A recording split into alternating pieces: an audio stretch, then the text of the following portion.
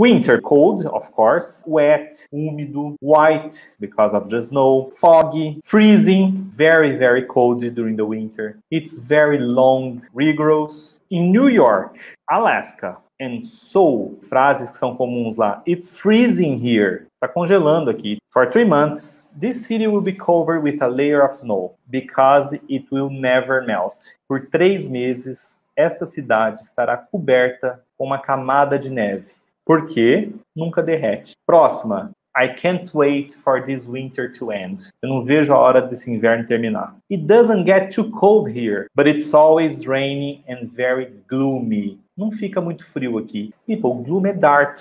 A dark day is a gloomy day.